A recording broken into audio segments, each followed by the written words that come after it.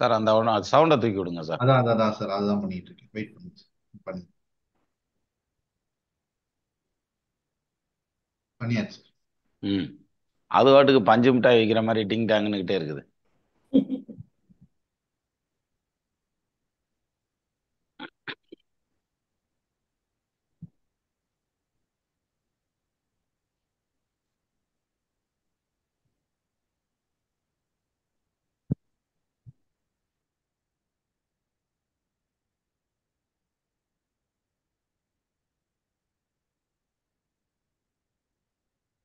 ஐந்து கரத்தனை ஆனை முகத்தினை இந்தின் இளம்பிறை போலும் ஈற்றனை நந்தி மகந்தனை ஞான கொழுந்தனை புந்தியில் வைத்தடி போற்றுகின்றேனே.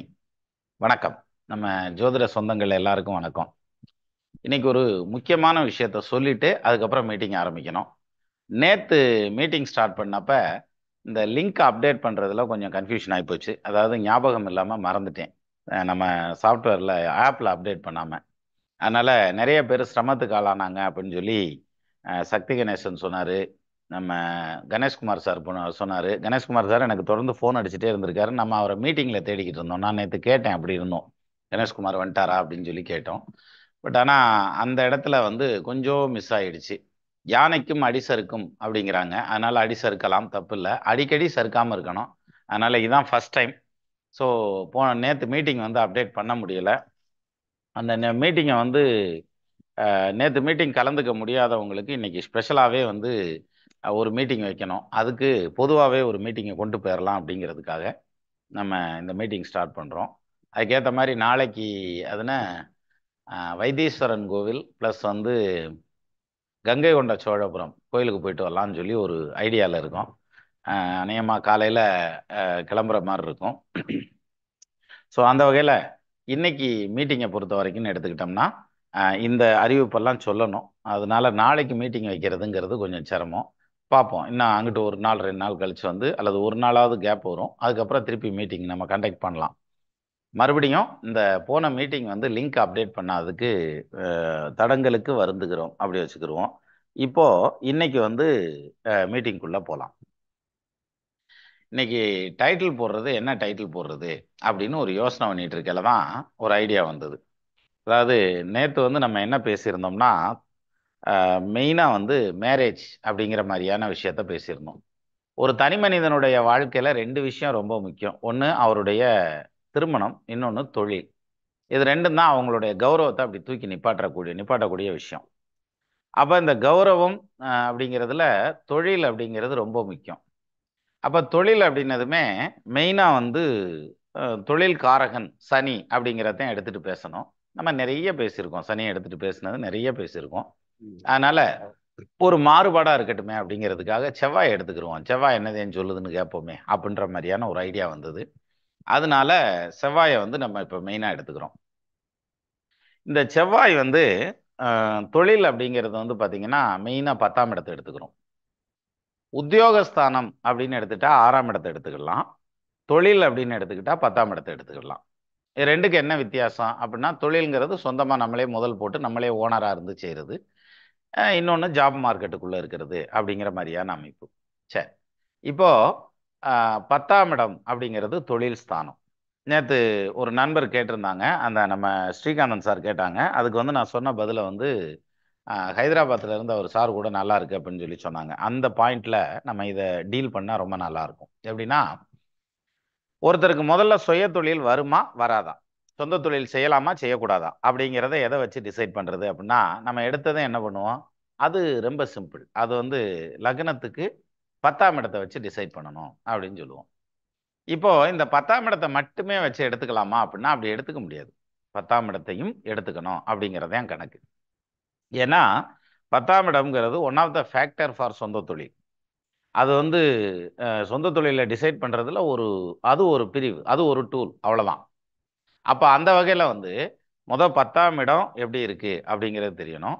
அப்புறம் பத்தாம் இடத்ததிபதி எப்படி இருக்கார் அப்படிங்கிற பாயிண்ட் தெரியணும். அப்புறம் தொழில்காரகன்னு சொல்லக்கூடிய சனி என்ன கண்டிஷனில் இருக்கார் அப்படின்னு தெரியணும்.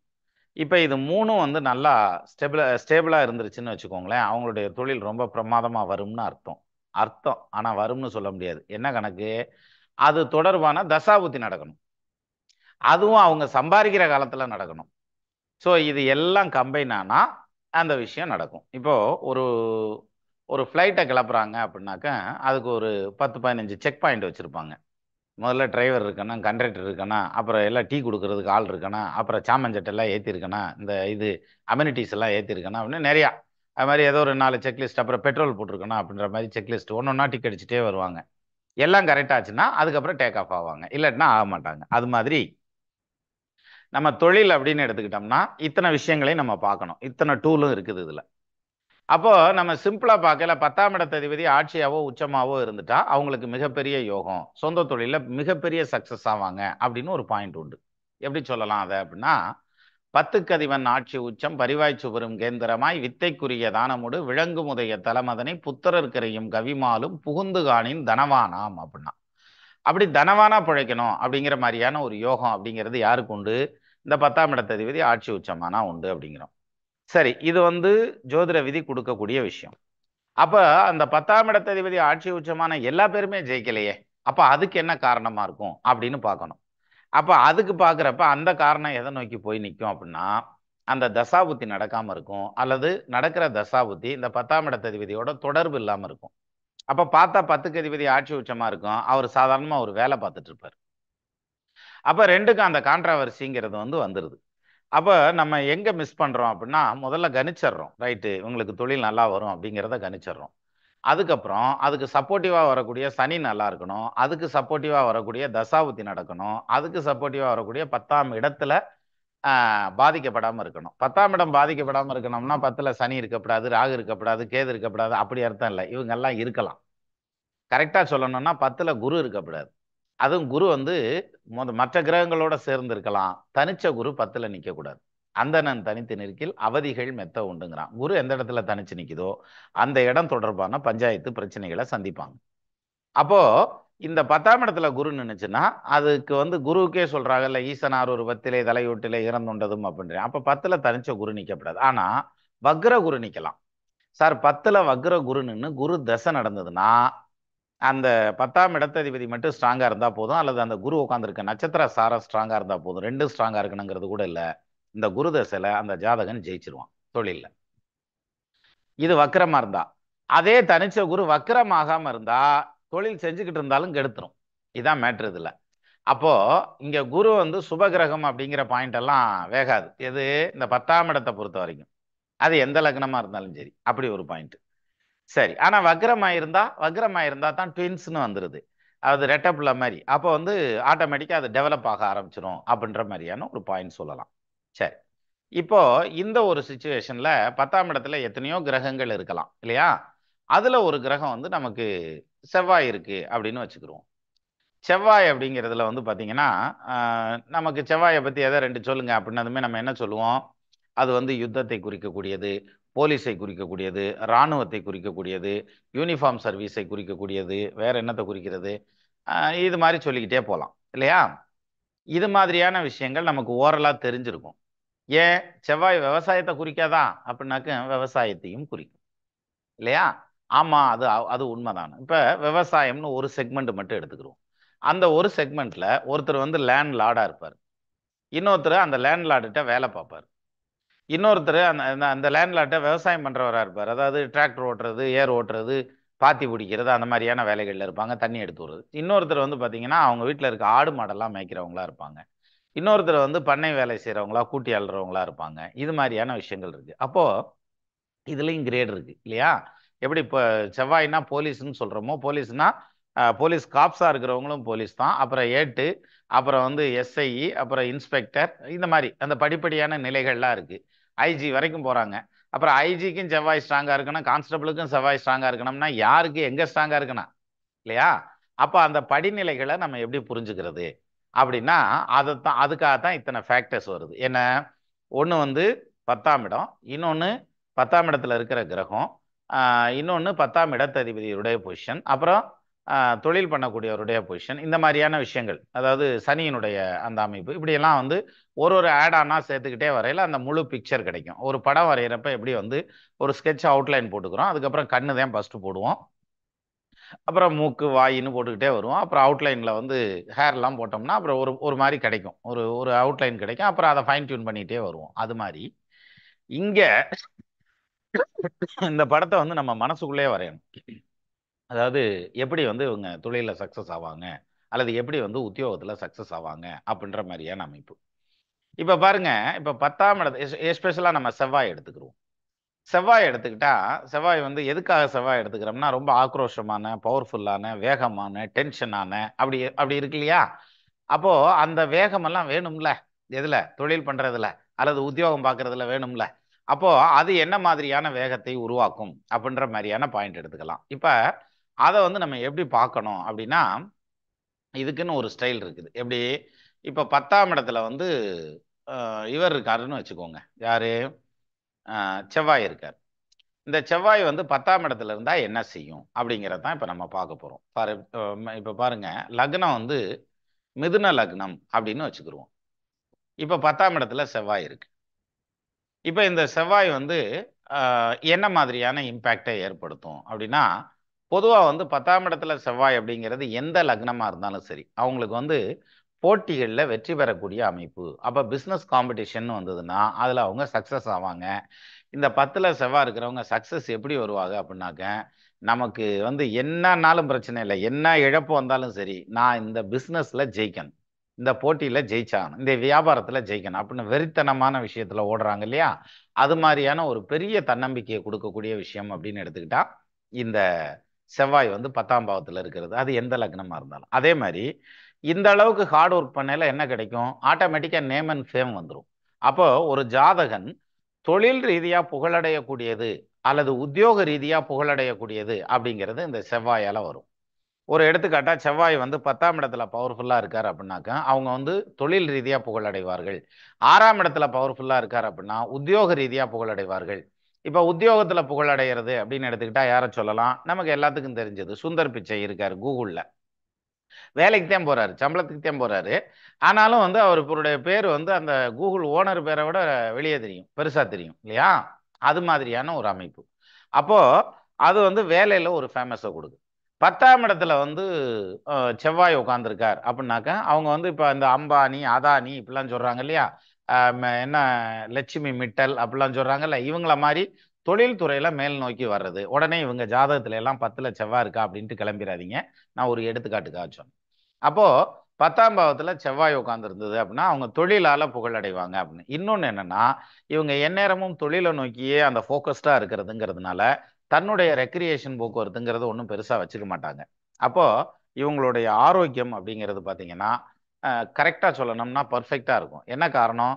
அந்த வேலை வேலைங்கிற மாதிரியான விஷயங்களில் இந்த ஆரோக்கியம் அப்படிங்கிற மாதிரியான பாயிண்டில் வந்து மற்ற லாகரி வஸ்துகளாகட்டும் அல்லது இதாகட்டும் கேளிக்கைகளாகட்டும் இதில் எதுலேயும் கலந்துக்கிறதுங்கிறது ரொம்ப கம்மியாக இருக்கும். அதனால் இவங்க உடம்பு ஆட்டோமேட்டிக்காகவே ஆரோக்கியமாக இருக்கும். இன்னும் அதை மெயின்டைன் பண்ணாங்கன்னா இன்னும் பிரமாதமான ஆரோக்கியம் வரும். இதே செவ்வாய் பத்தாம் பாவத்துல வீக்கா இருக்கார் அல்லது ஆறாம் பாவத்துல வீக்கா இருக்கார். வீக் அப்படிங்கிறது என்ன? ஆறாம் இடத்துலயோ பத்தாம் இடத்துலயோ செவ்வாய் உட்காந்து அவருக்கு வீடு கொடுத்தவன் நீசமாகிறது வக்கரமாகிறது ராகு கேதுவோட சேர்ந்து இருக்கிறது அல்லது செவ்வாயே ராகு கேது பார்வையில சேர்க்கையில இருக்கிறது இந்த மாதிரிலாம் இருந்ததுன்னா அவங்க வேலையில இருந்தாலும் சரி சொந்த தொழிலில் இருந்தாலும் சரி அவங்களுடைய உடல் உழைப்பை வந்து நிறைய கொடுப்பாங்க. அதாவது தொழில் பண்ணுவாங்க. ஒரு வேலையாள்லாம் வச்சுருப்பாங்க. பத்து பேர் கூட வேலையாள் இருப்பாங்க. இருந்தாலும் இவங்க இறங்கி அந்த மெஷர்மெண்ட் எல்லாம் செக் பண்ணி இவங்க அந்த அதெல்லாம் கரெக்டாக தான் பார்த்து போட்டிருப்பாங்க. இருந்தாலும் இவங்களுக்கு நிம்மதி வராது.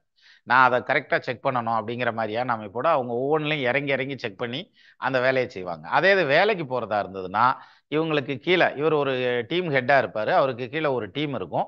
அந்த டீம் கரெக்டாக வேலை பார்க்குதான்னு மேனேஜ் பண்ணால் போதும். ஆனால் இவர் அந்த டீம் வேலையும் சேர்த்து எடுத்து வச்சு பண்ணிட்டு இருப்பார் அப்படின்ற மாதிரியான அமைப்பில் அந்த செவ்வாய் வந்து வீக்காக இருந்ததுன்னா ஆறாம் இடத்துல எடுத்துக்கலாம். அது மட்டும் இல்லாமல் இவ்வளோ தூரம் ஹார்ட் ஒர்க் பண்ணுறதுனால அவங்களுக்கு சொந்தமாக தனம் சேர்க்கக்கூடிய அமைப்பு. அதாவது தன்னுடைய சுய சம்பாத்தியத்தில் சொத்து சேர்க்கறது பொருளாதாரம் சேர்க்கறது அதில் பெரிய அளவில் வர்றது அப்படின்ற மாதிரியான அமைப்பு உண்டு. சரி. இப்போ பத்தாம் பாவத்தில் செவ்வாய் நிற்கிறார் செவ்வாயை வந்து நம்ம என்ன சொல்லியிருக்கோம்? போலீஸ் அது இதுன்னு சொன்னோம் இல்லையா? இது மாதிரி ரியல் எஸ்டேட் அப்படிங்கிறதும் செவ்வாய் தான். பட் இங்கே ஒரு சின்ன சிக்கல் இருக்குது. என்னென்னா பத்தாம் இடத்துல செவ்வாய் ஆட்சியாகி நின்னார்னால் பத்தாம் இடத்துல செவ்வாய் உச்சமாகி நின்னார்னா அவர் வக்ரமாகாமல் இருக்காருன்னு வச்சுக்கோங்க. அப்போது இங்கே செவ்வாய் வலுத்து இருக்கிறார் அப்போ ரியல் எஸ்டேட் தொழில் பண்ணால் நல்லா வருமானா வராது. என்னப்பா அது அப்படின்னம்னா வேற ஒன்றும் இல்லை. அங்கே செவ்வாய் ஆட்சியானா இவருடைய சொத்தை விற்க முடியாது. இவர் வாங்கிக்கிட்டே இருக்கலாம். அந்த மாதிரியான சிக்கல் வரும். அப்போ ஒரு ப்ராப்பர்ட்டியை கொடுக்கணும் அப்படிங்கிற மாதிரியான ஒரு ஐடியாவோட ஒரு சொத்தை வாங்கினோம்னா அதாவது இன்வெஸ்ட்மெண்ட் பர்பஸுக்காக வாங்கினோம்னா அந்த இன்வெஸ்ட்மெண்ட் பர்பஸை வந்து எப்படி ஃபுல்ஃபில் பண்ணலாம் அப்படின்னா முதல்ல வந்து பணத்தை கொடுத்து அந்த சொத்தை வாங்குறோம் இல்லையா? வாங்குறது நம்ம பெர்மனண்டா வச்சுக்கிறதா இருந்தால் இந்த செவ்வாய் ஆட்சி உச்சமாக இருக்கவங்க பேரில் போட்டுக்கலாம். அதே தான் அப்படி இல்லை.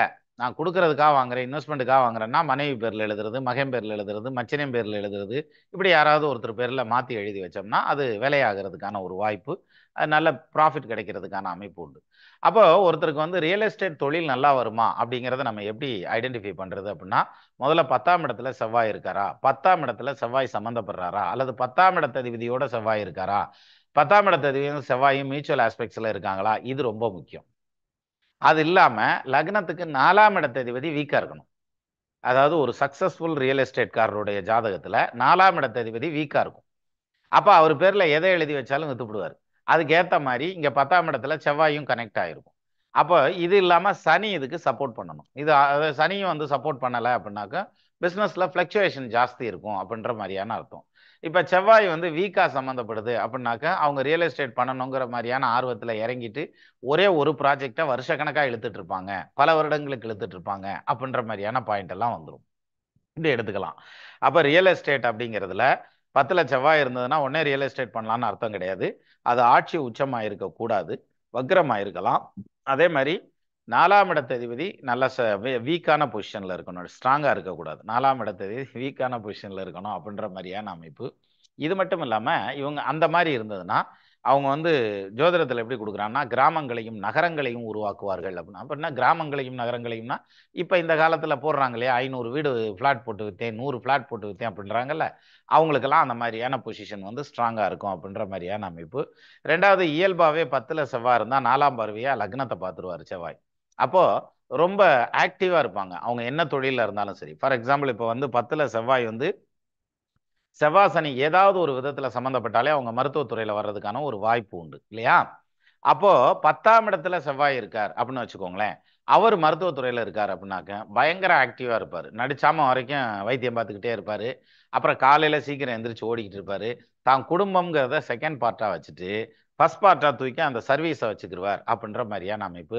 அதுக்கேற்ற பொருளாதார விருத்தி எல்லாம் கொடுக்கும். இதுக்கேற்ற அளவில் வந்து அந்த ஆக்டிவ்னஸ் அதாவது சுறுசுறுப்பு அந்த ஸ்டெமினா க காலையில் வரைக்கும் ஒர்க் பண்ணணும்னா அவ்வளோ ஸ்டெமினா வேணும்ல அந்த ஸ்டெமினாவை கொடுக்கும் அப்படிங்கிற மாதிரியான அமைப்பும் அந்த பத்தில் நிற்கிற அந்த செவ்வாய் செய்வார். அது மட்டும் இல்லாமல் ரொம்ப தைரியம் இருக்கும். அது எதுனாலும் இறங்கித்தேன் பார்த்துருவான் செஞ்சுதான் பார்த்துருவான் என்னதான் செய்துன்னு பார்ப்பான் அப்படின்ற மாதிரியான அந்த ஸ்டஃப்னஸ் அப்படிங்கிறது இவங்களுக்கு ரொம்ப ஜாஸ்தியாக இருக்கும் அப்படின்ற மாதிரியான அமைப்பு. இது மட்டும் இல்லாமல் தான் ஈடுபட்டிருக்க துறை அது எந்த துறையாக இருந்தாலும் சரி அது ரியல் எஸ்டேட்டாக இருக்கலாம். இன்னும் நிறையா இருக்குது சொல்கிறேன் அது மாதிரியான துறைகளில் மருத்துவத்துறை ரியல் எஸ்டேட்டு இந்த மாதிரி ஏதோ ஒன்றுல செவ்வாயுடைய ஆதிபத்தியத்தில் எந்த தொழில் அவங்க நின்னாலும் அந்த தொழில் சார் சார்? கணேஷ்குமார் சார்? சரி. அந்த தொழில் சார்ந்த வகையில வந்து அவங்க வந்து மிகப்பெரிய சக்சஸ் ஆவாங்க. அதுல பேரையும் புகழையும் சம்பாதிப்பாங்க. இப்போ ஒரு ஒரு பிஸ்னஸ் ஏரியாவை சொன்னா அதுல வந்து அவங்களுடைய பேர் அப்படியே நிலைச்சு நிற்கும் ஃபார் எக்ஸாம்பிள் இப்போ வந்து வண்டி வாகனம் அப்படின்னா டாட்டா அப்படின்லாம் சொன்னோம்னா ரைட் அவங்க மோட்டார் வாகனம் சம்மந்தப்பட்ட இப்போ வந்து உப்பு வரைக்கும் வைக்கிறாங்க. அதை விட்டுருங்க. முதல்ல வந்தது வந்து அந்த மோட்டார் வாகனம் சம்மந்தப்பட்டது. இல்லை பல்பு அப்படின்னா பிலிப்ஸு அப்படின்லாம் சொல்கிறாங்கல்ல அது மாதிரியான அந்த பேரு புகழ் சம்பாதிக்கக்கூடிய அமைப்பு அப்படின்ற மாதிரியான அமைப்பு. இதில் இன்னொரு விஷயம் என்னென்னா ரியல் எஸ்டேட்டு அல்லது பூமி சம்மந்தப்பட்ட வகையில் ஒருத்தர் லாபம் அடைகிறார் அப்படின்னாக்கா அவர் வாங்கி விற்று தான் லாபம் அடையணுங்கிறதுல ஒரு கமர்ஷியல் ப்ராப்பர்ட்டி கட்டி வாடகை கூடலாம் ஒரு கல்யாண மண்டபம் கட்டுறது ஒரு காம்ப்ளெக்ஸ் கட்டுறதுங்கிறது அல்லது வந்து ரெசார்ட்ஸ் கட்டுறதுங்கிற மாதிரியான அமைப்பு இது ஒரு செக்மெண்ட் இன்னொன்று டொமஸ்டிக் பர்பஸுக்காக கட்டுவாங்க. அதாவது வீடு கட்டி வாடகை கூடுறது அப்பார்ட்மெண்ட் கட்டி வாடகை கூடுறது அப்படிங்கிற மாதிரியான பாயிண்ட்ல இருப்பாங்க. இதுவும் வந்து அந்த செவ்வாயினுடைய ஆதிபத்தியம் ஸ்ட்ராங்காக இருக்கணும். ஈவன் அது பத்தாம் இடத்துல ஸ்ட்ராங்காக இருக்கணும். அதில் ஹோட்டல் கட்டுறதுங்கிறதும் அதே மாதிரி தான். அதே மாதிரி இதனுடைய ரொம்ப கம்மியான அளவில் ரொம்ப வீக்காக இருக்குது யார்? செவ்வாய் வந்து வீக்காக இருக்கார் அப்படிங்கிற பட்சத்தில் அவங்க செக்யூரிட்டி லெவலில் போவாங்க. அவங்க தான் வந்து இப்போ டிபார்ட்மெண்ட் வைஸில் எடுத்துட்டோம்னா ஒரு கான்ஸ்டபிளாக இருக்கிறது ஹெட் கான்ஸ்டபிளாக இருக்கிறதுங்கிற மாதிரியான அமைப்பு அல்லது வந்து ஒரு பாதுகாப்பு தொடர்பான விஷயங்கள் இருக்கிறது. சரி பாதுகாப்பில் இருக்கிறது அப்படின்னா ஒரு சாஃப்ட்வேர் இன்ஜினியர்கிட்ட வந்து பத்தாம் பாவத்தில் செவ்வாய் சம்மந்தப்படுறாரு அல்லது செவ்வாய் இருக்காருன்னு வச்சுக்கோங்க. அப்போ நான் என்ன கான்ஸ்டபிளாக போவேன்னு சொல்கிறியா அப்படின்னாக்கா அங்கே அப்படி கிடையாது. அங்கே வேறு மாதிரி வரும். எப்படி வரும்? அவர் வந்து சைபர் செக்யூரிட்டியில் இருப்பார். அதாவது செக்யூரிட்டி ரிலேட்டடான விஷயங்களில் அவருடைய ஒர்க் இருக்கும் அப்படின்ற மாதிரியான அமைப்பு. அதே இது வந்து இப்போ புதன் வீடான மிதுனத்திலேயோ கன்னியிலேயோ வந்து அந்த பத்தாம் இடம் அமைஞ்சு அந்த பத்தாம் இடத்துல செவ்வாய் சம்மந்தப்படுறாரு அப்படின்னாக்கா அவங்க அந்த டேட்டாவை வந்து சேவ் பண்ணுறதுங்கிறது டேட்டா அனலிட்டிக்ஸ் பண்ணுறதுங்கிறது க்ளவுட் மேனேஜ்மெண்ட் பண்ணுறதுங்கிறது அது ரிலேட்டடான செக்யூரிட்டியில் இருக்கிறதுங்கிறது இது மாதிரியான விஷயங்கள்ல அவங்க எமினண்ட்டாக இருப்பாங்க. இது இப்படித்தான் இருக்கணுங்கிறது இல்லை இது இன்னொரு மாதிரியும் இருக்கலாம். எப்படி? இவங்க வந்து மெடிக்கல் ரெக்கார்ட்ஸ் எல்லாம் மெயின்டைன் பண்ணுறதுங்கிற மாதிரியான அமைப்பு கலெக்ட் பண்ணுறது அனலைஸ் பண்ணுறது மெயின்டைன் பண்ணுறதுங்கிறது அல்லது இன்னொரு விதத்தில் எடுத்துக்கிட்டால் அதே செவ்வாய் வந்து சனியோட சம்மந்தப்பட்டு நிற்கிறார் அல்லது ராகு எதோட சம்மந்தப்பட்டு நிற்கிறார் அப்படின்னாக்க அவங்க வந்து இதில் இருக்கிறது மெடிக்கல்ங்கிறத விட லா சம்மந்தப்பட்ட சட்டம் ரீதியான பிரச்சனைங்க அது தொடர்பான வேலைகளில் உட்கார்றது ஈவன் சாஃப்ட்வேரில் இருந்தாலுமே. இது மாதிரி அந்த ஒரு ஒரு காரகத்துவத்துக்கு தகுந்த மாதிரி அப்படியே லைட்டாக இங்கிட்டு அங்கிட்டுமா மாறி மாறி வந்துக்கிட்டே இருக்கும் அப்படின்ற மாதிரியான அமைப்பு சொல்லலாம். இப்போ இது வந்து இதில் சாஃப்ட்வேரை பொறுத்த வரைக்கும் இப்போ இதே இது என்ஜினியரிங் லைனில் இருக்காங்க. சிவில் என்ஜினியராக இருக்காங்க அப்படின்னு வச்சுக்கோங்களேன். செவ்வாய் வந்து இதாக இருக்கார். அவர் வலுவாத்தையாக இருக்கார் அப்படின்னாக்கா அவர் ஒரு சிவில் இன்ஜினியராக வருவார். அந்த வலுவாக இருக்கிற செவ்வாயோட சுக்கரன் அல்லது சந்திரன் சம்மந்தப்படுதுன்னு வச்சுக்கோங்களேன். அவங்க வந்து பார்த்தீங்கன்னா ஆர்கிடெக்டாக வருவாங்க. ஸ்ட்ரக்சரல் இன்ஜினியரிங் செவ்வாயோட சனி தொடர்பு வந்ததுனாக்கா ஸ்ட்ரக்சரல் இன்ஜினியராக வர்றதுக்கான அமைப்பு சந்திரன் சுக்கரன் வந்து ஆர்கிடெக்டாக வர்றதுக்கான அமைப்பு இதே சந்திரன் சுக்கரன் வந்து அது வலுவாக இருந்து செவ்வாய் வீக்காக இருந்ததுன்னா இன்டீரியல் டிசைனிங் வர்றதுக்கான அம்சம். ஸோ இது மாதிரி. அப்போ நம்ம படிப்பை செலக்ட் பண்ணுறப்ப கூட குழந்தைங்களுக்கு படிப்பை செலக்ட் பண்ணுறப்ப கூட இந்த காம்பினேஷனை ஞாபகம் வச்சுக்கிட்டு அடுத்த தசை என்ன வருது? இந்த காம்பினேஷன் இருக்கனால உடனே நீ ஸ்ட்ரக்சரல் இன்ஜினியரிங் படிக்கணும் அல்லது ஆர்டிஃபிஷியல் இன்டெலிஜென்ஸ் படினோ அல்லது டேட்டா சயின்ஸ் படினோ சொல்லிடக்கூடாது. அடுத்த தசை என்ன வருது? அந்த தசைக்கு இந்த டிபார்ட்மெண்ட்டு அதுக்கு மேட்ச் ஆகுமா? அப்படின்றத பார்த்து அதுக்கு தகுந்த மாதிரி நம்ம ஒரு துறையை செலக்ட் பண்ணி கொடுத்தோம்னா அவங்க சக்ஸஸ் ஆகிறதுக்கு நிறைய சான்ஸ் உண்டு. அதனால தான் சிலர் வந்து படிக்கிறது ஏதோ ஒரு கோர்ஸை படிச்சுவிட்டு ஒரு ஆர்ட்ஸ் டிகிரி கூட படிச்சுவிட்டு ஒரு என்ஜினியரிங் லைனில் இருப்பாங்க. என்ன சொல்லணும்னா டீம் லீடாக இருக்கிறவங்க டெஸ்டிங்கில் இருக்கிறவங்க கோடிங் எழுதுறவங்க நிறைய பேர் வந்து பார்த்தீங்கன்னா ஆர்ட்ஸ் டிகிரியில் இருப்பாங்க. அப்போ இவங்கெல்லாம் வந்து எப்படி அதில் சக்ஸஸ் ஆகுறாங்க அப்படின்னாக்க இவங்களுக்கு அந்த நடக்கிற தசாபுத்தி வந்து இந்த லைனில் இவங்களை கொண்டு வந்து ஒதுக்கிடும் அவங்க நினச்சிட்டு இருப்பாங்க இன்னைக்கு இதில் ட்ரெண்டாக போயிட்டு இருக்கு அந்த ட்ரெண்டாக இருக்கிறதுனால நம்ம அதை படித்ததுனால அதை பழகுனதுனால நம்ம இதில் வந்துட்டோம் தப்பிச்சிட்டோம் அப்படின்னு நினச்சிட்டு இருப்பாங்க. அப்படி கிடையாது. இவங்க படிக்கலைனால அங்கே கொண்டு போய் ஒதுக்கணும்னா ஒதுக்கி விட்டுரும். ஸோ அந்த வகையில் இந்த செவ்வாய் வந்து பத்தாம் பாவத்தில் நிற்கிறது அப்படிங்கிறது வந்து ஒரே வாக்கில் எடுத்துக்கக்கூடாது. இன்னொரு கான்செப்ட் எடுத்துக்கிறோமே. அதாவது ஜலராசியில் இருக்காங்க. எது? செவ்வாய் வந்து பத்தாம் இடமாகி அதில் ஜலராசியில் இருக்காங்க. அதில் சந்திரன் சம்மந்தப்படுறார் அல்லது சுக்கரன் சம்மந்தப்படுறார் அப்படின்னு வச்சுக்கோங்களேன். இது பாசிட்டிவாக இருக்கிற பட்சத்தில் என்ன ஒன்றும் அவங்க வந்து செஃப்பாக இருப்பாங்க.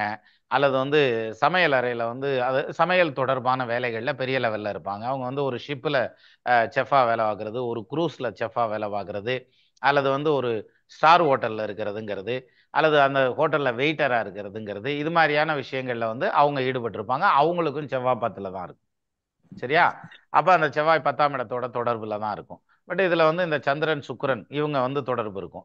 இந்த சந்திரன் சுக்கரன் தொடர்பில் இவங்க எல்லாருமே வீக்குன்னு வச்சுங்களேன் செவ்வாயும் வீக்காக இருக்கார். சந்திரனோ அல்லது சுக்கரனோ தொடர்பாகி அதுவும் வீக்காக இருக்குது அப்படின்னா அவங்களுக்கு வந்து ட்ரிங்க்ஸ் சம்மந்தப்பட்ட ஐட்டம் சோமபானம் சுறாபானம் அப்படின்னு சொல்கிறோம் பாருங்க.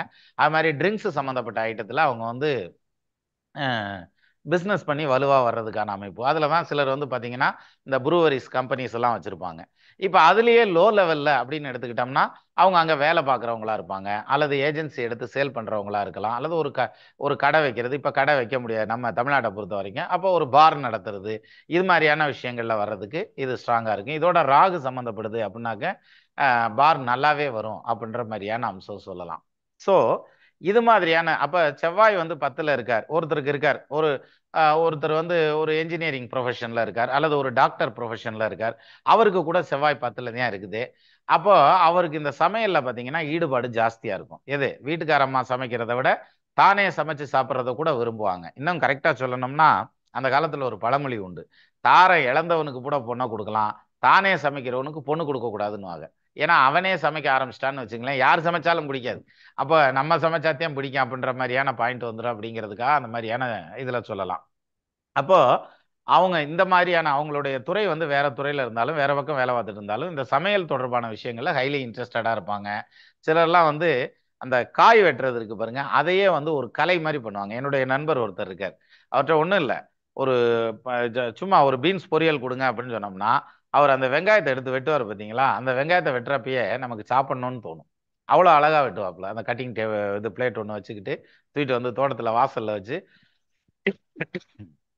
அதை கட் பண்ணுற ஸ்டைல் பார்த்தீங்கன்னா அம்புட்டு அழகாக இருக்கும். இன்னும் கேரட் கட் பண்ணாருன்னா அப்படி கியூப் மாதிரி ஸ்கொயர் ஸ்கொயராக இருக்கிற மாதிரி கட் பண்ணி கொடுத்துருவாப்புல. பார்க்குறக்கே நல்லா டேஸ்ட்டாக இருக்கும். ஸோ அது மாதிரியான அந்த ஆனால் அவருடைய தொழில் அது இல்லை. அவர் விவசாயம் பார்க்குறாரு அது மாதிரி ஒவ்வொருத்தரும் ஒவ்வொரு விதமாக வந்து வருவாங்கங்கிற மாதிரியான அமைப்பு. இன்னும் சொல்லணும்னா இந்த பத்தாம் இடத்துல செவ்வாய் ரிலேட் ஆகுது அப்படிங்கிற பட்சத்தில் அவங்களுக்கு வந்து பிராணிகள் செ செல்ல பிராணிகள்லாம் வச்சுருப்பாங்க இல்லையா? நாய் பூனை அதே மாதிரி ஆடு மாடு கோழி இதெல்லாம் வச்சுருக்காங்கல்ல இதெல்லாம் தோட்டத்தில் அதெல்லாம் இருக்கிறதுக்கு அதான் காரணம். அங்கே செவ்வாயுடைய ஆதிபத்தியம் இருக்குது. அப்போ கூடுதலாக இதுகெல்லாம் செவ்வாயினுடைய ஆதிபத்தியத்தில் தான் வரும். கால்நடைகள் எல்லாமே அப்படின்ற மாதிரியான அமைப்பு. அதே மாதிரி ஆள் அடிமை. அவங்களுக்கு கீழே வந்து ஆட்கள் நிச்சயமாக ஏவல் ஆட்கள் யாராவது இருப்பாங்க. இது வந்து செவ்வாயினுடைய வலுவை பொறுத்து முன்ன பின்ன மாறும் அப்படின்ற மாதிரியான அமைப்பு. அதுவும் வந்து குறிப்பாக பத்தாம் இடத்துல செவ்வாய் இருக்குது அப்படின்னா இன்னொரு விதத்தில் கூட ரொம்ப பிரமாதமாக சொல்லலாம். அதாவது எப்படின்னா எந்த ரூபத்துலையும் அவங்களுக்கு கொல்லி வைக்க புள்ள உண்டுன்னு சொல்லுவாங்க. கர்மபுத்திரன் உண்டு. அதாவது குழந்த பாக்கியம் டிலே ஆகிட்டே இருந்தால் கூட அவங்க நாற்பது வயசுக்கு மேலே போனால் கூட அவங்களுக்கு புத்திர பாக்கியம் கிடைக்கிறதுக்கான அமைப்பு இருக்கும் அப்படின்ற மாதிரியான அம்சத்தில் சொல்லலாம். அதே மாதிரி இப்போ பத்தில் செவ்வாய் உட்காந்துருக்கார் அங்கே புதனும் ஸ்ட்ராங்காக இருக்கார் அப்படின்னு வச்சுக்கோங்களேன். லக்னத்திலேயே குரு இருக்கார் அல்லது லக்னத்தை குரு பார்க்குறாரு அப்படின்னா அவர் ஜோதிட விற்பனர் ஆயிடுவார் பட் அவருடைய ஜோதிட ஸ்டைலே வேற மாதிரி இருக்கும். எப்படி இருக்கும்? ஒரு புது விதமான ஜோதிடத்தை நான் கண்டுபிடிச்சேன். அல்லது வந்து பரிகாரம் பண்ணால் சரியாக வந்துடும் இன்ன மாதிரியான கோயிலுக்கு போங்க. இன்ன மாதிரியான கல் போடுங்க. இன்ன மாதிரியான ஹோமங்கள் பண்ணுங்க. இப்படி இப்படி இந்த பரிகாரம் பண்ணுங்க அப்படின்னு அப்படி அந்த ஒரு ஸ்டைலில் வருவாங்கங்கிற மாதிரியான அமைப்பு. இது இந்த செவ்வாயோட புதன் சம்மந்தப்படுறது அப்படிங்கிற மாதிரியான பாயிண்ட்ல ஜோதிடம் அப்படின்னு எடுத்துக்கிட்டாலே அதுக்கு தனியாக யார் யார் எப்படி ஜோசியராக வர்றது அப்படிங்கிறதுக்கெல்லாம் கூட நம்ம இந்த கிரக காரகத்துவங்களை யூஸ் பண்ணோம்னா நிறைய விஷயங்கள் தெரியும். ஒரு சின்ன எடுத்துக்காட்டாக வச்சுட்டா அந்த செவ்வாய் பத்தில் தான் இருக்கார். அவர் கொஞ்சம் முரட்டு ஜோசியராக இருப்பார். சரியா? நான் சொல்றது சரியா? இல்லை நான் சொல்றது மட்டும்தான்டா சரி அப்படின்ற மாதிரியான ஸ்டைலில் பேசுகிறவங்களா இருப்பாங்க. அவங்களோட ராகு சுக்கிரன் சம்மந்தப்படுதுன்னு வச்சுக்கோங்களேன். அவங்க மீடியா துறையில் மேலே வருவாங்க. ஒரு நண்பர் கூட கேட்டிருந்தாரு.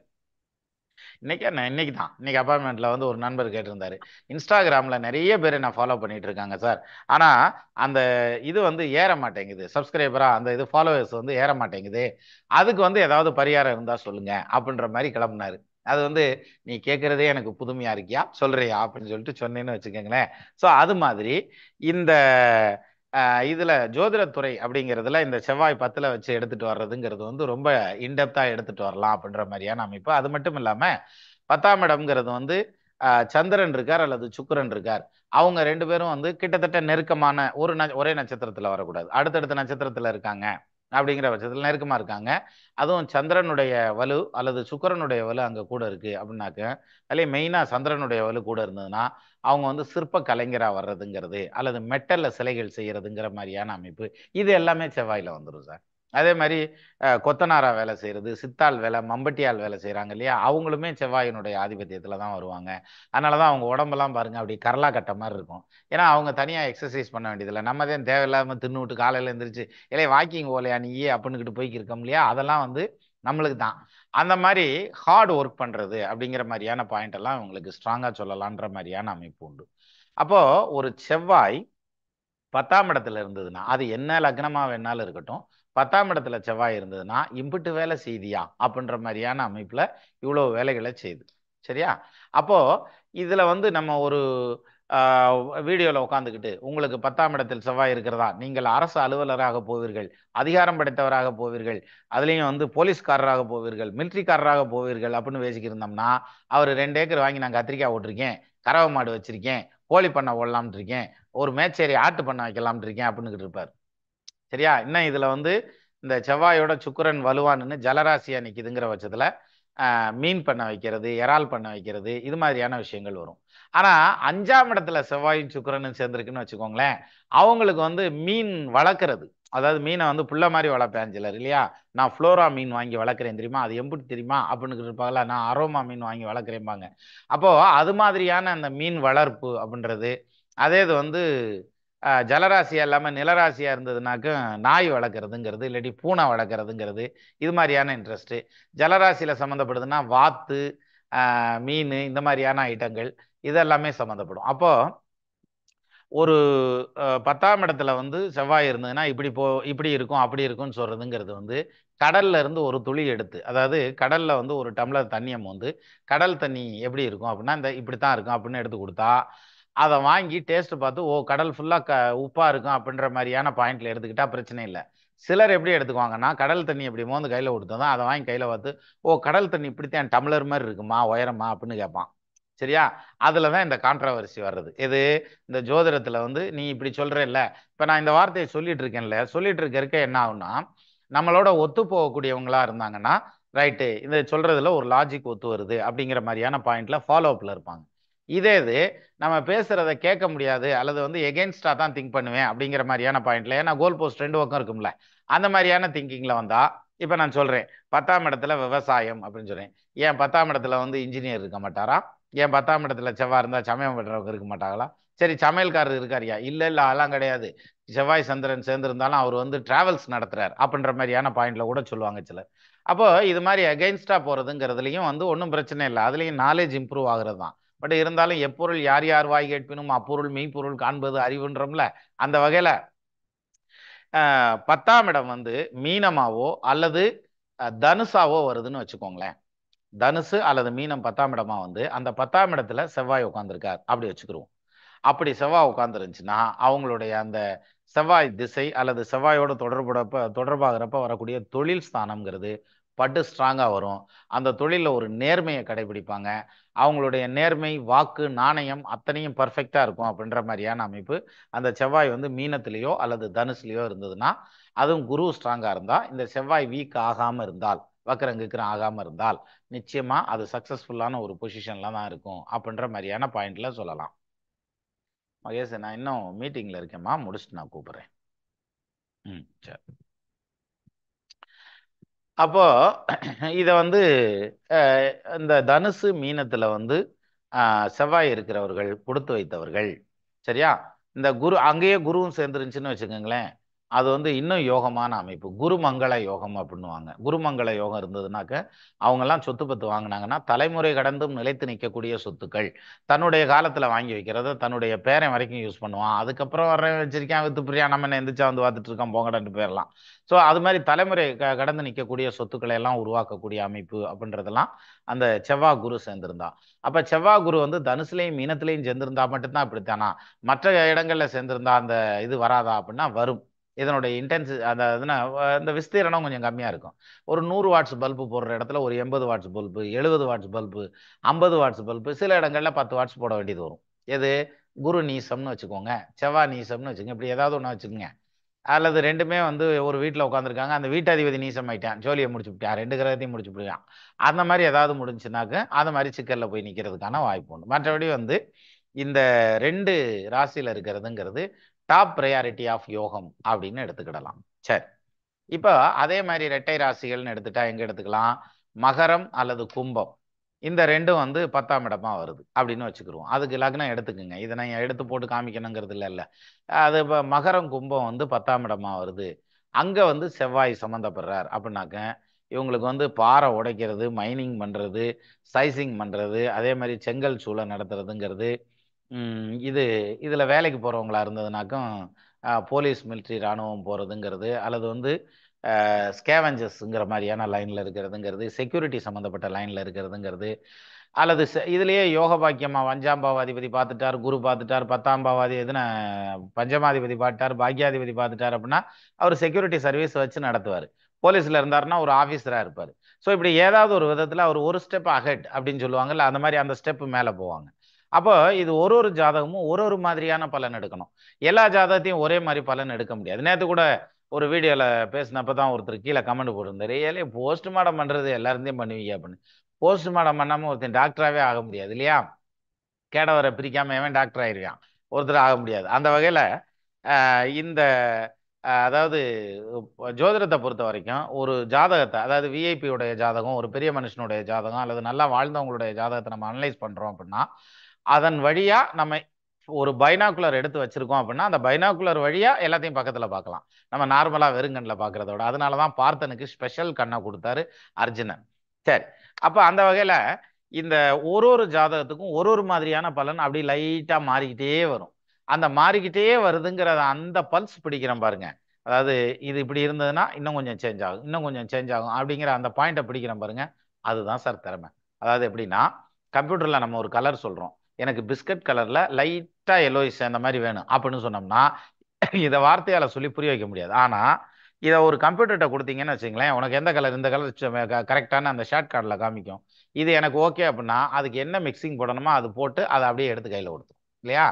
கிட்டத்தட்ட அது மாதிரி சார் ஜோசியத்தில். நமக்கு வந்து என்ன ஷார்ட் கார்டில் இது உட்காருது? அப்போ அதுக்கு என்ன மிக்சிங் வேணும்? அப்போ நம்ம வயசு வருஷம் ரிவர்ஸ் ப்ராசஸில் எடுக்கும் இருக்கிறோம். இது ரிவர்ஸ் ஆஸ்மாசிஸ்ங்கிறோம்ல அது மாதிரி. அதாவது இந்த காம்பினேஷன் இருந்ததுன்னா அப்போ கலரி தான் வரும். அப்படின்றத அந்த ஐடென்டிஃபை பண்ணுறதுன்னு இருக்கு வருங்க. அதுதான் அதில் சிக்கல். அப்போ ஒரு ஒரு ஜாதகத்துக்கும் ஒரு ஒரு மாதிரி மாறிக்கிட்டே வர்றதுங்கிறதான் ஜோதிடத்தினுடைய யுனிக்னஸ் அதனால தான் ஆர்டிஃபிஷியல் இன்டெலிஜென்ஸ் இதில் வந்து உட்கார்றதுக்கு இன்னும் நீண்ட நாள் பிடிக்கும். ஏன்னா ஒருத்தர் ஜோசியராக இருக்கணும் அவர் ஆர்டிஃபிஷியல் இன்டெலிஜென்ஸில் எமினெண்ட்டாக இருக்கணும் அப்புறம் அவர் சாஃப்ட்வேர் இன்ஜினியராக இருக்கணும் இவங்க எல்லாம் சேர்ந்த ஒரு கலவையாக கலந்தால் இது செட் ஆகிறதுங்கிறது மேபி கொண்டுட்டு வரலாம் இன் ஃபியூச்சரில் முடியாதுன்னு ஒன்றும் கிடையாது. ஆனால் அதே சமயத்தில் பாருங்கள் ரெண்டு ஜோசியரை ஒன்றா சேர்த்து உட்கார வச்சோம்னாலே செத்த இடத்துல சண்டை கட்டிக்கிறாங்க அப்போ அது மாதிரி ஒரு என்ஜினியர்ஸோட சேர்ந்து ஒர்க் பண்ணுறதுங்கிறதுக்கெல்லாம் இன்னும் கொஞ்சம் காலம் எடுக்கும். அதனால் ஏஐ எந்த டிபார்ட்மெண்ட்டுக்கு வருதோ இல்லையா அது அப்புறம் ஜோசியத்துக்குள்ளே வரலாம். வர்றதுக்கு கொஞ்சம் டைம் எடுக்கலாம். மற்றதை விட நிறையா டைம் எடுக்கிறதுக்கு சான்சஸ் இருக்குது அப்படிங்கிறது இது ஒரு வாய்ப்பாக சொல்லலாம். சரி. அப்போது நம்ம அந்த மீனத்திலையும் தனுசுலையும் இருக்கிறத பார்த்தோம். மகரத்திலையும் கும்பத்திலையும் செவ்வாய் இருந்ததுன்னா என்ன செய்யுன்னு பார்த்தோம். இப்போ மேஷத்திலையும் விருச்சகத்திலையும் செவ்வாய் இருக்கு. அது ரெண்டும் பத்தாம் இடமா இருக்குன்னு வச்சுக்கோங்க. எய்தர் மேஷம் ஆர் விருச்சகம் டென்த் ஹவுஸா வருது. அப்படின்னா இந்த செவ்வாய் வந்து என்ன செய்வார் அப்படின்னா நிச்சயமா சொந்த தொழில் பண்ண வைப்பார். செவ்வாய் தசை நடந்ததுன்னா. அந்த சொந்த தொழில்ங்கிறது மிகப்பெரிய அளவில் சக்ஸஸ் பண்ணும். இன்னும் சொல்லணும்னா செவ்வாய் ஆட்சியாவோ உச்சமாவோ பத்தாம் இடத்துல இருந்தால் அவங்களுக்கு ரியல் எஸ்டேட் தொழில் நல்லா வராதுன்னு சொல்லியிருந்தேன். ஆனால் அவங்களுக்கு ரெசார்ட்ஸ் கட்டி வாடகை கூடுறது வீடு கட்டி வாடகை கூடுறது கமர்ஷியல் பில்டிங் கட்டி வாடகை கூடுறது கல்யாண மண்டபம் கட்டி வாடகை கூடுறது இதெல்லாமே நல்லா வரும். சரியா? அப்போது அவங்க இதை பயன்படுத்திக்கலாம். அல்லது அதோட சந்திரன் சம்மந்தப்படுறார் சுக்கரன் சம்மந்தப்படுறார் ஹோட்டல் பிஸ்னஸ் நல்லா வரும். ட்ராவல் பிஸ்னஸ் நல்லா வரும். ட்ராவல்ஸ் வச்சு ஓட்டுறது நல்லா வரும். அப்போது இந்த மேஷத்துலேயோ விருச்சகத்துலேயோ இருக்குது அப்படின்னாக்க இப்போ அவர் சொல்கிறார் இல்லைப்பா நான் என்ஜினியராக இருக்கேன். அப்படின்னாக்கா அவர் பார்த்தீங்கன்னா ஒன்லி ஹோட்டல்ஸாக கட்டிட்டு போவார். இல்லாட்டி ஒரு சிலர் வந்து ரயில்வேல கான்ட்ராக்டாக எடுத்துகிட்டு போயிட்டே இருப்பாங்க. அது காரணம் என்ன? அவங்க சிவில் ஒர்க் தான் பார்க்குறாங்க இங்கே இந்த செவ்வாயோட ராகு சம்மந்தப்பட்டிருக்கும் அப்போ அவங்க ரயில்வே கான்ட்ராக்டாக இருப்பாங்க. அந்த செவ்வாயோட சனி சம்மந்தப்பட்டிருக்கும் அவங்க ரோடு கான்ட்ராக்டாக இருக்கிறதுக்கான வாய்ப்பு உண்டு.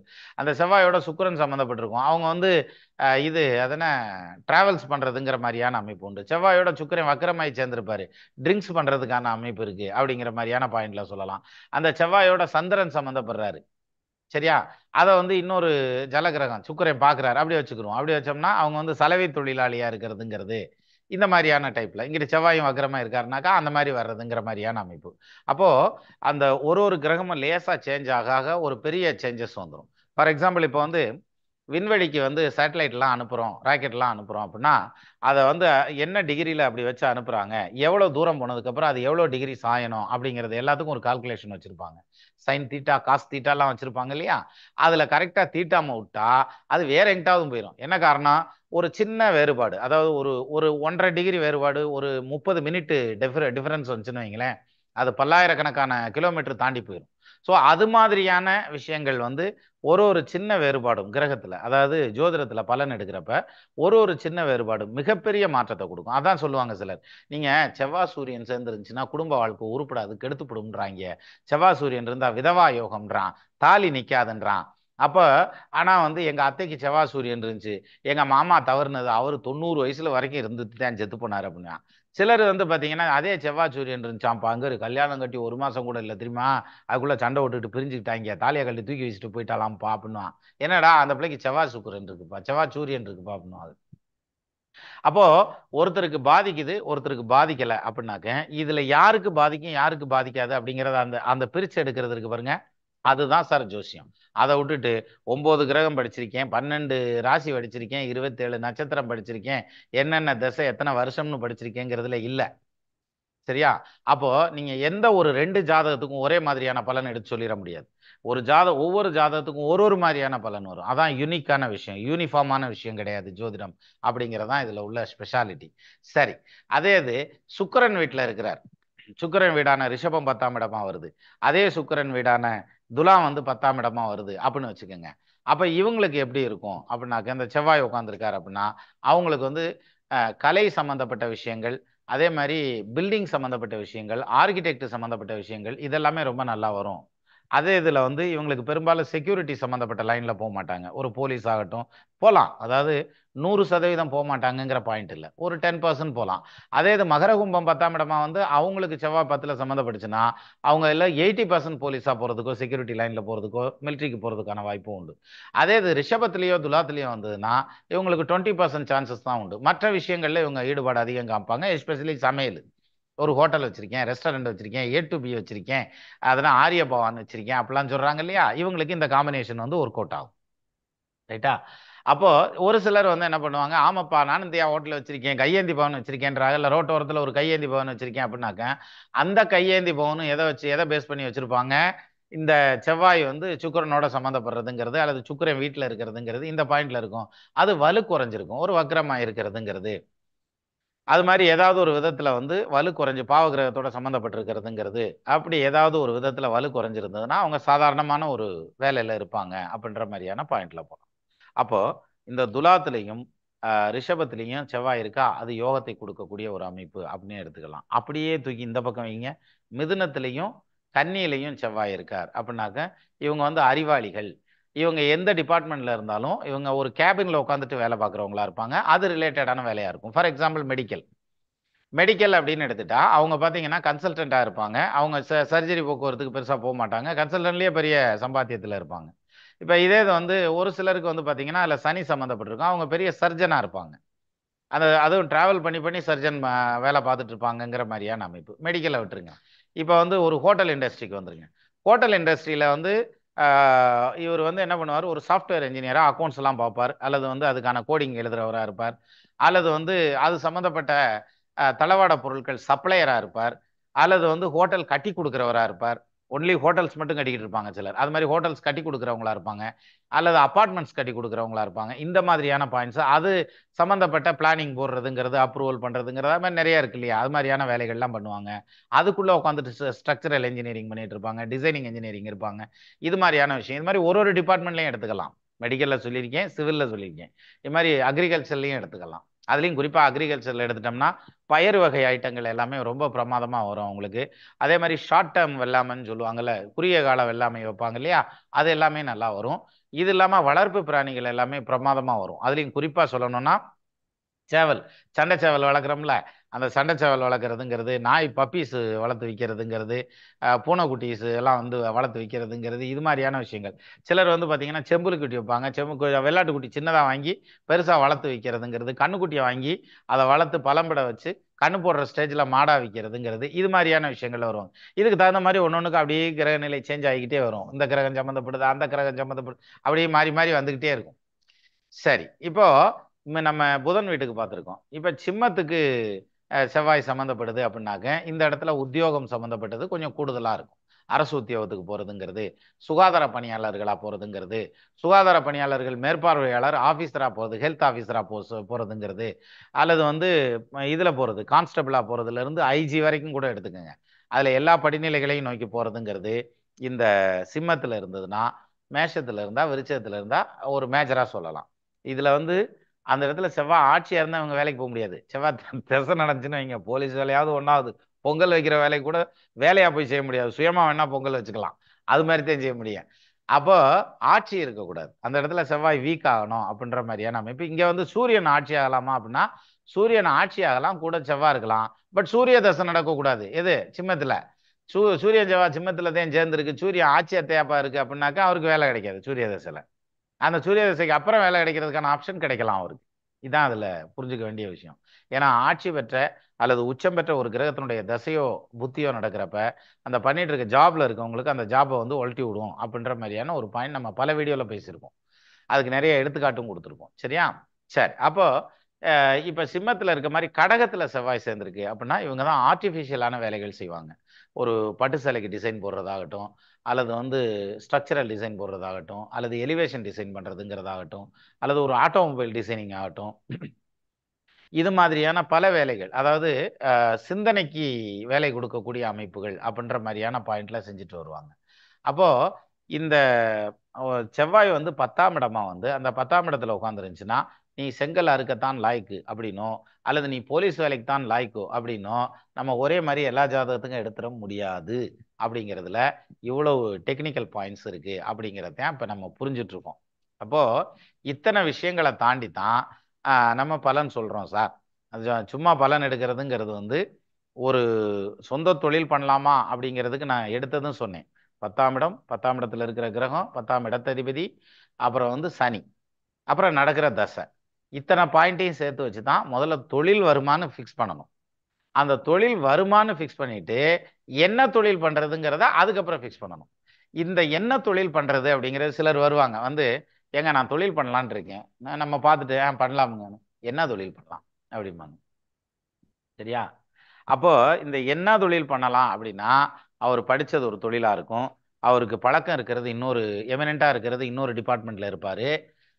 ஆனால் வந்து நம்மகிட்ட கேட்குறது நமக்கு அது தெரியாது. இல்லையா? நம்ம இவர் என்னதில் ட்ரைனிங் போயிருக்காரு என்ன படிச்சிருக்காரு அப்படிங்கிறது தெரியாது. ஜோசியர்கிட்ட வந்து எங்கே கண்ணாம்பூச்சி விளையாடலாமா எங்கே கண்டுபிடி வைப்பேன் என்னையா அப்படின்ற மாதிரி அப்படியே வந்து உட்காந்துக்குருவாங்க.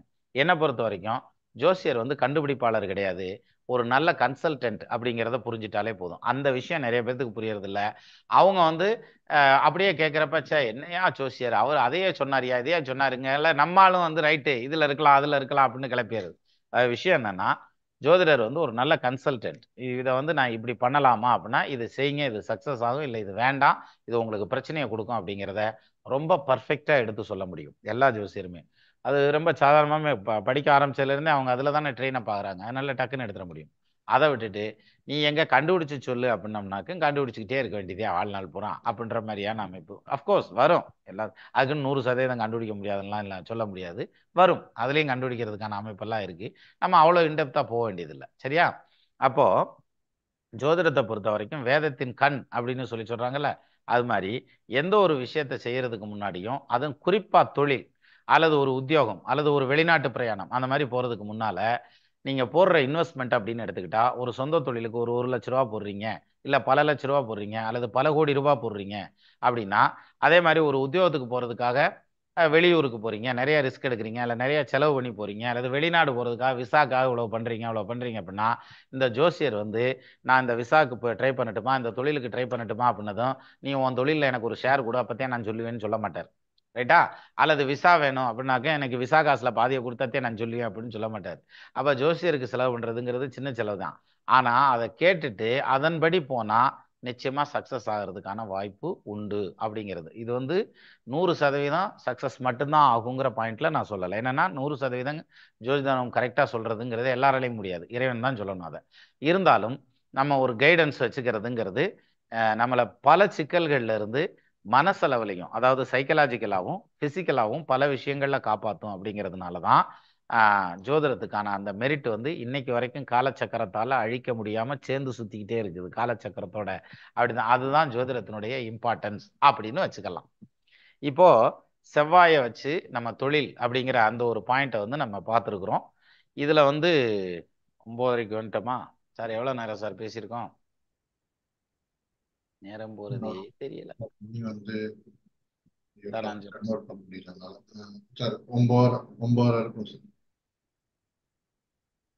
மணி நீங்க இந்த இந்தியால டைம் என்னன்னு கேட்கல சார் நானு நீங்க வேற. அப்படி இல்ல சார். ஐம்பது நிமிஷம் ஆச்சுங்க ஐயா. ஐம்பது நிமிஷம் ஆச்சா? ஒரு மணி நேரம். ஒரு மணி நேரம் கிட்டத்தட்ட ஒரு மணி நேரம். ஆ சரி. அப்ப நீ பேசு ஒன்றும் பிரச்சனை இல்லை. நாங்க வேணா கேட்டுக்கிறோம்ன்ற மாதிரி இல்ல. நானும் டயர்ட் ஆயிருவேன்ல. ஓ அது வேற ஆவியா? அப்படின்ற மாதிரி. எவ்வளவு நேரம் போச்சுன்னே தெரியல. நான் அதை இதை க்ளோஸ் பண்ணிட்டேன் இருக்கு. ஆ ரைட் கிட்டத்தட்ட ஒரு மணி நேரம் கிட்ட கிட்ட ஆயிருக்கு சார். அதான் ஒரு மணி நேரத்துக்கிட்ட போயாச்சு. சரி சார். இப்போ நம்ம வந்து ஓரளவுக்கு ஓரளவுக்கு அதாவது கரையில வந்து கரையில நின்று ஓரளவுக்கு நம்ம பார்த்துருக்குறோம். இதுல வந்து கொஸ்டின்ஸ் அப்படிங்கிறது வந்து நான் இன்னும் பேக்கிங் எல்லாம் பண்ணாம வச்சிருக்கேன். அதனால கொஸ்டினை மட்டும் நாளைக்கு வச்சுக்கலாம். சரி நாளைக்கு தான் முடியாதா? அடுத்த செஷன்ல கொஸ்டினை வச்சுக்கலாம் அப்படிங்கிற மாதிரியான ஒரு சின்ன யோசனை எனக்கு. அதனால மீண்டும் நம்ம இது தொடர்பான கேள்விகளை நாளைக்கு வச்சுக்கிறது அதாவது அடுத்த செஷன்ல வச்சுக்கிறது கன்வீனியன்ட்டா இருக்கும்னு நான் நினைக்கிறேன். உங்களுடைய பெர்மிஷனோட எங்க சொல்லுங்க பார்ப்போம் அதுக்குள்ள நாங்க கையை தூக்கிட்டோம்யான்ற மாதிரி இருக்கு. உண்மை சார் கை தூக்கிட்டா பரவாயில்ல சார். அதாவது வேணா செய்யலாமா இல்லாட்டினா? நான் வேணா போய் மற்ற வேலைகளை பாக்குறேன் பேக் பண்ற வேலையை பாக்குறேன் நம்ம இதுல நம்ம சக்கரவாணி ஐயா நம்ம இவங்க சந்திராவுப்பலி மேடம் இவங்களை எல்லாம் பதில் சொல்லுங்கன்றலாமா? சொல்லிட்டு கிளம்பிடலாமா? அது ஓகே சார் ஆனா ஒரே ஒரு சின்ன கேள்வி அது நீங்க தான் சொல்லணும். இல்ல இல்ல. அவங்க அவங்களுக்கு முடியலன்னு சொல்றாங்களே சார் சந்திராம புள்ளி இல்ல மதிப்பு இல்ல வேண்டாம் முடியலன்னு சொல்றாங்களே உடம்பு சரியில்லை. இன்னும் அதனால உடம்புனால இல்ல இத இன்னும் ஒரு தடவை நம்ம பார்க்கணும்ல. சார் வேற சரி. நம்ம பதிய இன்னும் ஒரு தடவை நம்ம பார்க்கணும். கொடைக்கானல் சதீஷ். சதீஷ் போட்டோ போல இருக்கு. கொடுமுடி சதீஷ் இருக்காருங்க ஐயா கொடுமுடி சதீஷ் இருக்காரு கொடைக்கானல் சதீஷ் இருக்காரு பாருங்க. இந்த அவர்கிட்ட ஒரு இன்ஃபர்மேஷன் சொல்ல நீங்க சொல்லிடலாம். சதீஷ். சொல்லுங்க சார் சொல்லுங்க சார். ஆ ரைட் ஓகே கேட்டுருச்சு. அதாவது அநேகமா இன்னொரு நாலஞ்சு நாள்ல வருவோம்ப்பா மேல. வாங்க சார் ரைட் வரையில கூப்பிடுறேன். எங்க? மேலதான் இருக்கீங்களா? ஆமா சார் மேல சார் சரி ரைட் ஓகே. ஓகே நம்ம மீண்டும் இன்னொரு நல்ல சந்தர்ப்பத்தில் சந்திக்கலாம். இந்த போன மீட்டிங்க்கு நான் மறுபடியும் சொல்கிறேன் போன மீட்டிங்க்கு வந்து நம்ம லிங்க் அப்டேட் பண்ணாமல் விட்டது. என்னுடைய சைடில் தவறு. தவற்றுக்கு வருந்துகிறோம். மீண்டும் இன்னொரு தவறு இது மாதிரி வராது. வர்றதுக்கு வாய்ப்பு இல்லை. நம்ம மீண்டும் அடுத்த மீட்டிங்கில் சந்திக்கலாம். நமது நண்பர்கள் ஆள் போல் தழைதழைத்து அருகது போல் வேரூன்றி மூங்கில் போல் கிளை கிடைத்து முதியாமல் வாழ்ந்திருக்க வாழ்கவன வாழ்த்தி அமைகிறேன். நன்றி